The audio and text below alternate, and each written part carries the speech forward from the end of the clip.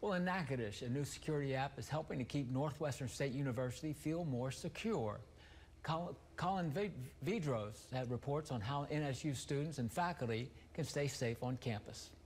I think it will be of benefit to the university and to students.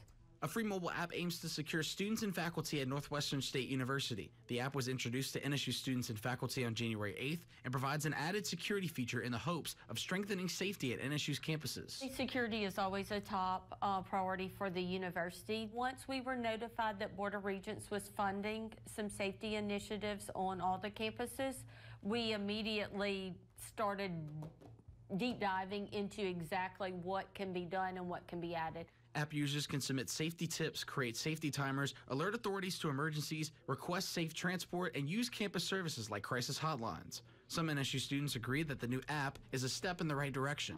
Personally, I think something like that would be very, very beneficial to students around campus because at, at nighttime, I'm not gonna lie, our campus is kind of wide open and anybody can kind of come on and like strangers, especially with all the stuff that's been going around on campus the past past year. So I bet it would make a lot of people feel safer.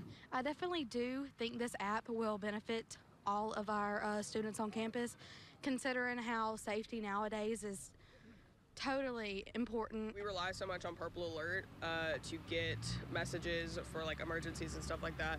And so having just another outlet for the university police and anyone else to get into contact with students is really beneficial for all of us on campus. All NSU students and faculty can download the app and must register with their NSU email address to gain access.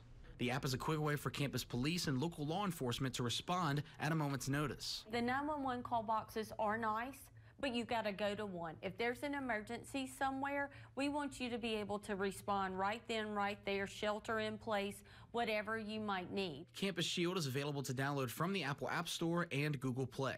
In Natchitoches, Colin Vidros, News Channel 5, your local station. Thank you, Colin. Well, over at LSUA, the Rave Guardian app is a personal safety app that connects students and faculty to campus police and other security resources.